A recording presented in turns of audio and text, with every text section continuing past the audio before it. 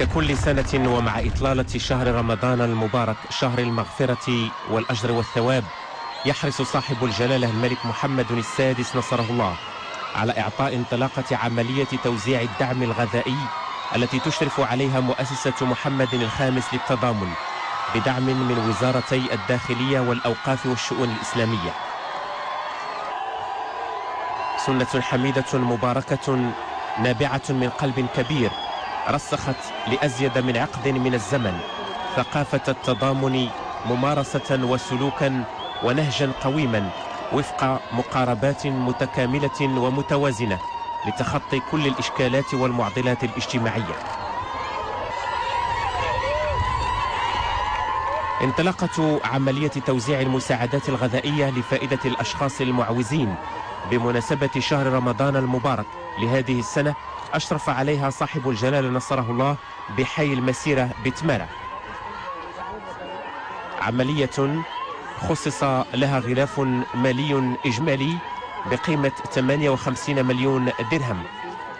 وتروم تقديم المساعدة للأشخاص المعوزين والمحتاجين لا سيما النساء الأرامل والمسنين والمعاقين.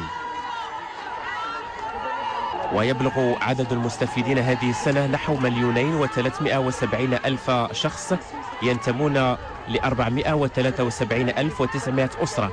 403 ألاف أسرة منها بالعالم القروي. وهي موزعة على جميع أقاليم المملكة. ووفقا لهذه العملية ستحصل كل أسرة على قفة من المساعدات الغذائية.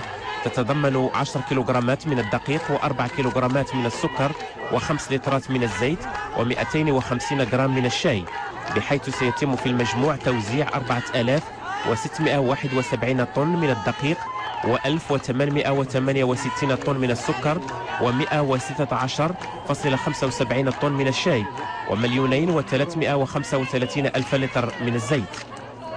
وبالنسبة لتمارا فعدد المستفيدين يبلغ 500 منهم 157 مستفيدا بحي المسيرة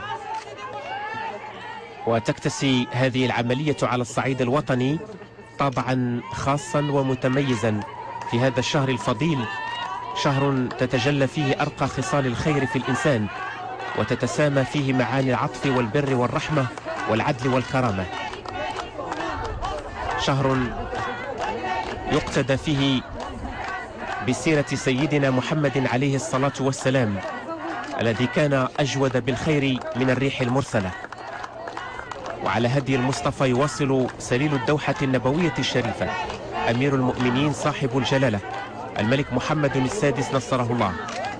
دعم المبادرات الإنسانية والتضامنية الخلاقة وإنجاز الأوراش الاجتماعية.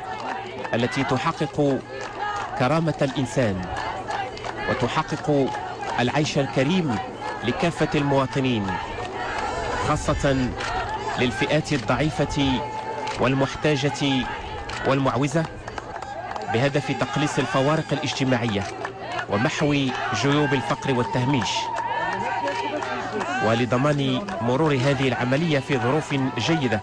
فقد تم تعبئة طاقم يتكون من خمسة ألاف شخص بالإضافة إلى فريق من المساعدين الاجتماعيين والمتطوعين من بينهم طلبة. وسعيا لضمان مرور العملية في أحسن الظروف على الصعيدين المركزي والجهوي فقد تم تشكيل لجنتين محلية وأخرى إقليمية للسهر الميداني عليها.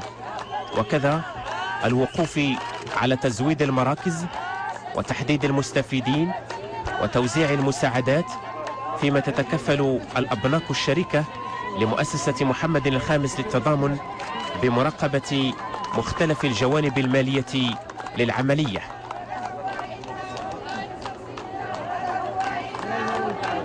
هي تعبئة اجتماعية شاملة تتم عبر عدة مبادرات إنسانية وإشارات قوية من أجل فهم عميق لنجاعة الوسيلة.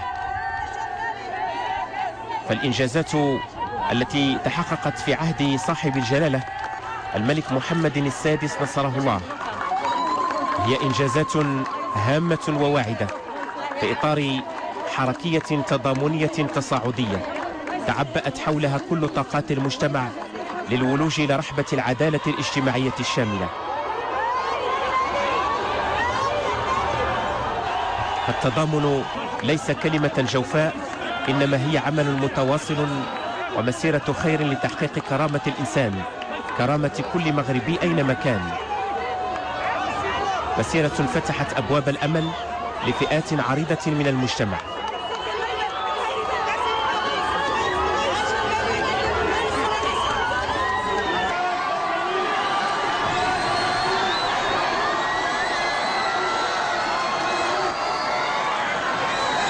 ومسيرة تضامنية مباركة يرعاها جلالة الملك حفظه الله أخرجت المحرومين من الظل إلى النور.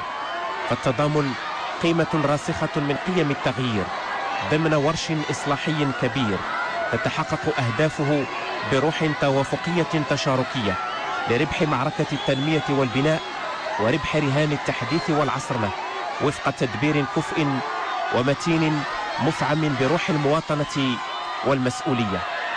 فالمغرب يشهد في عهد جلالة الملك حفظه الله ثورات إصلاحية متعددة الواجهات. أه، تعد عملية الدعم الغذائي من أهم العمليات الإنسانية اللي كتقدمها المؤسسة خلال شهر رمضان الأبرك. أه، هذه العملية اللي كيستفيد منها ما يقرب من مليونين ونصف شخص محتاج عبر جميع أنحاء المملكة وخاصة في المجال القروي وهي تشكل مبادرة خاصة تمكن المؤسسة من البلورة أه، العمل التضامني ميدانيا من خلال قربها من محتاجين.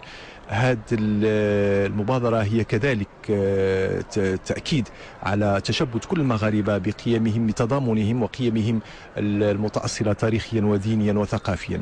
وأصبحت اليوم هذه العملية محطة جديدة في تقاليد المغاربة تقاليدهم التضامنية وهي تؤكد على سلوك المجتمع المغربي كليا سلوك من خلال تعبيره الإنساني البسيط ومن خلال تعبيره الإنساني كذلك الذي يحمل دلالات قوية. إيش غنقول لك؟ ملي بدا مخرجها وحنا ناخذوا من عدو الله يسترك والله يحفظك.